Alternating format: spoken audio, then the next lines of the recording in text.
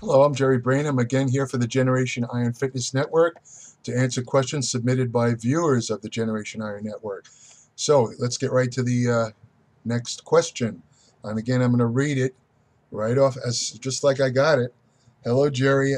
I've heard evidence that high levels of nitric oxide can possibly lead to damage of the Leydig cells of the testes. If this is true, would it be prudent for a trainer to limit the usage of no boosting foods or supplements before every workout, particularly if they train more than three times a week? Thanks.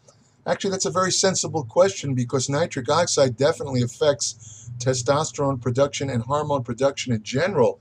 Uh, as far as the studies go, isolated studies of rat Leydig cells. Now, this is in rats. Do, does show that when these cells are directly exposed to nitric oxide, the, Leydig cells, it does inhibit testosterone release.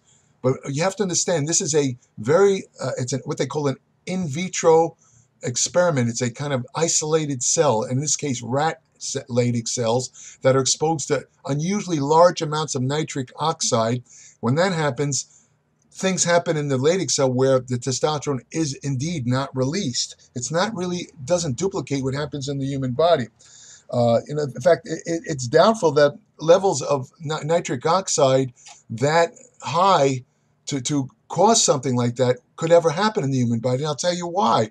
Because nitric oxide, it's called, it used to be called endothelium dilation factor and I'm sorry, endothelium relation, relaxation factor because it relaxes the smooth muscles in blood vessels and it allows the vessels to dilate. This is why nitric oxide, when it's released from the lining of blood vessels, it causes greater blood flow, flow greater oxygen delivery to muscle, which increases a muscle pump and all that stuff.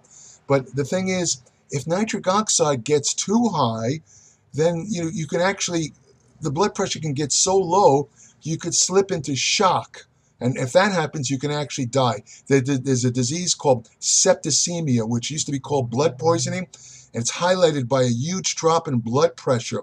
If the doctors can't control that drop in blood pressure, you die. So you never would want a massive amount of nitric oxide release. And the point here is that you'd have to have about that level of nitric oxide to inhibit testosterone directly in the testes. It's, just not going to happen, right?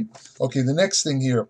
Uh, another way to look at it is that nitric oxide, by promoting oxygen and blood uh, delivery to tissues, will, uh, in the normal amount of nitric oxide, I should say, will have an a, a opposite effect of promoting testosterone release in the, and this is what generally happens. Under normal circumstances, having an optimal release of nitric oxide promotes testosterone release by the Leydig cells. And again, it has to do with increase blood delivery, increase oxygen delivery, which makes the cells far more efficient, right?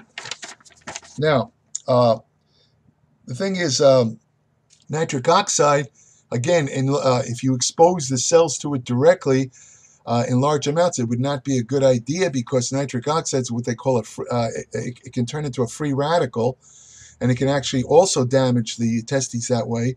But in, in reality, nitric oxide is synthesized, synthesized and released so fast, it's actually a gas. It, it's so fast, it's like a ghost. It's released, it does a job, it disappears. My point is, it never lasts around. It doesn't last. It doesn't stay around long enough to cause, to inflict damage to the Leydig cells when it's produced locally in that area. So this is not something to be concerned about.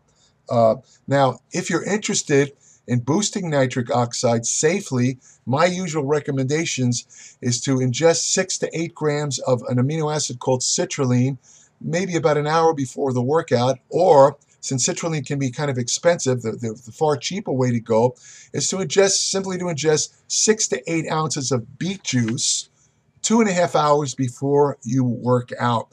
Now, it's important that you ingest that beet juice two and a half hours prior to the workout because the uh, uh, the the beet juice contains nitrates, which uh, which have to be converted to nitrites, which are then further co uh, converted in the gut into nitric oxide. This takes a while. Usually takes about two to two and a half hours. So you want to give yourself about two and a half hours. Okay, uh, if you want further information about nitric oxide, anything related to nutrition, exercise, science, hormonal therapy, ergogenic aids, fat loss, all factual, all evidence based, no ads, 40 to 50 pages every month. Consider subscribing to my Applied Metabolics newsletter. There's nothing like it anywhere. I'm putting five decades of experience and study into this newsletter. It's at www.appliedmetabolics.com. Thank you for listening. Jerry, can excessive ejaculation adversely or positively affect your natural testosterone levels? From Jack Meoff. Okay, Jack, uh, to answer your question, short term abstinence from uh, uh, ejaculations does slightly increase testosterone levels. However, long term uh, abstinence can reduce.